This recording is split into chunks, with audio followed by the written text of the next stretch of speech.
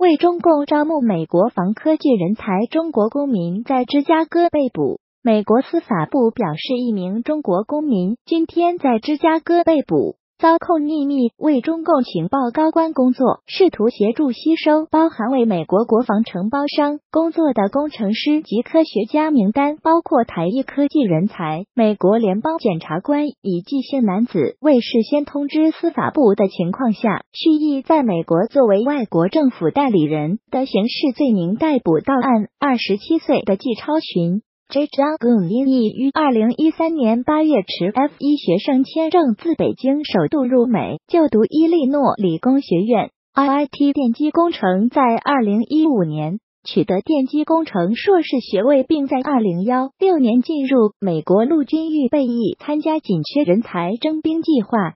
Mavni 路透社报道，被控担任中国政府代理人的季超群现身芝加哥联邦法院，但未立即与他的代表律师霍伊 （Lori Hoy） 取得联系置评。根据联邦调查局 （FBI） 审查的简讯内容，季超群于二零一三年十一月由诉状所称情报员 B 的人士介绍。给江苏省国家安全厅的情报员 A，根据 FBI 提供的诉状及书面证词，双方后来在中国多次见面。最初，情报员 A 仅告诉季超群他是大学教授，但 FBI 表示季超群最终得知他的真实身份是江苏省国家安全厅官员，此部门隶属中国国家安全部。省级二零一五年于电邮执行的搜索。并显示，季超群将相关文件发送给情报员内内容包括八名来自台湾或中国的美国规划公民资讯，八人皆现居美国。美国司法部表示，